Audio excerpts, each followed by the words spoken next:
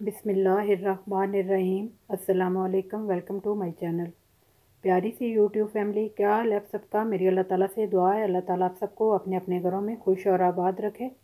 इसी दुआ के साथ करते हैं आज की वीडियो स्टार्ट। वीडियो स्टार्ट करने से पहले मेरी आप सबसे रिक्वेस्ट है, प्लीज़ मेरी वीडियो को फुल वॉच किया करें। अगर आपको अच्छी लगे तो मेरे चैनल को लाइक करें, शेयर करें और सब्सक्राइब भी ज़रूर कर दें। आज मैं आपके साथ शेयर करूँगी कुछ रमज़ान स्पेशल टिप्स जैसा कि आप जानते हैं, रमज़ान में हर चीज़ की कीमत आसमान को छूने लगती है तो आप इन टिप्स पर अमल करके अपना पैसा और वक्त दोनों बचा सकते हैं। इसके लिए आपने वीडियो को एंड तक देखना है। सबसे पहले हम बना लेंगे धनिया पुदीना की बहुत ही मज़ेदार सी चटनी। ये चटनी आप एज इट इज़ भी इस्तेमाल कर सकते हैं और दही में डालकर भी। धनिया पुदीना की चटनी बनाने के लिए मैंने दो गड्डी सब्ज़ धनिया और एक गड्डी पुदीना लेकर इसको साफ़ करके धो ली है। अब इसको रफ सा काट लें।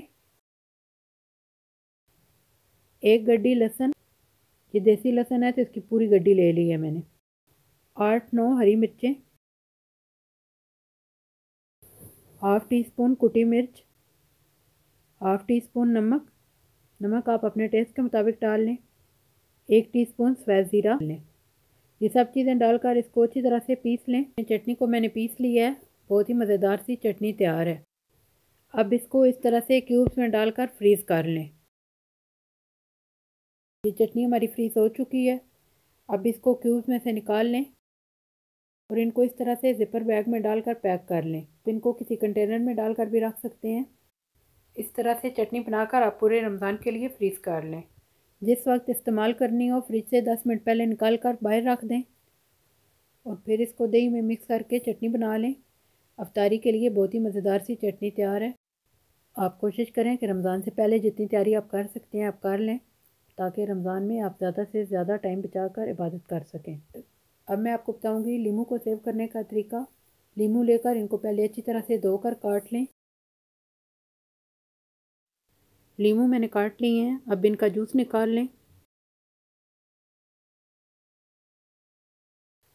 अब इस जूस को छान लें। और फिर इसको भी इस तरह से क्यूब्स में डालकर फ्रीज़ कर लें। ये लीमू फ्रीज़ हो चुके हैं।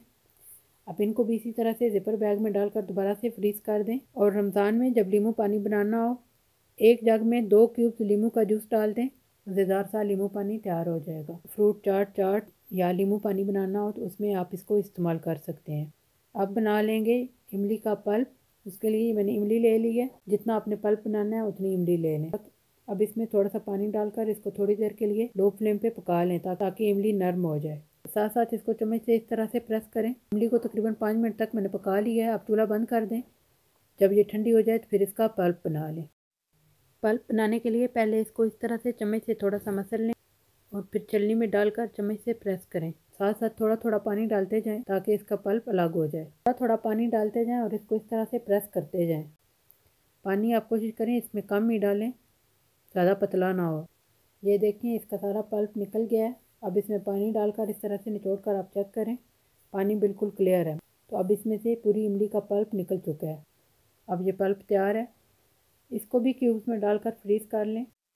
इमली का इस्तेमाल रमज़ान में तकरीबन रोज़ ही होता है। आप किसी किस्म की भी चाट बनाएँ। आलू, छोले, चाट तो इमली मस्ट है। आप इस तरह से पल्प बनाकर रख लें तो आप अपना बहुत सारा टाइम सेव कर सकते हैं। पल्प फ्रीज़ हो चुका है। अब इसको इसमें से निकाल कर जेपर बैग में डाल दें। और दोबारा से फ्रीज़ कर लें। रमज़ान में इमली बहुत ज़्यादा इस्तेमाल होती है तो आप एक दफ़ा इसका पल्प बना कर रख लें तो रमज़ान में बहुत आसानी हो जाएगी। चटनी, लीमू और इमली के क्यूब्स तैयार हैं। इनको इस तरह से बॉक्स में डालकर फ्रीज़ कर दें। उम्मीद है आज की वीडियो आपको पसंद आई होगी। अगर आपको अच्छी लगे तो प्लीज़ इसको लाइक शेयर और सब्सक्राइब ज़रूर कर दें। और बेल आइकन को भी प्रेस कर दें, ताकि मेरी हर अपलोड वीडियो का नोटिफिकेशन आप तक पहुँच सके। शुक्रिया।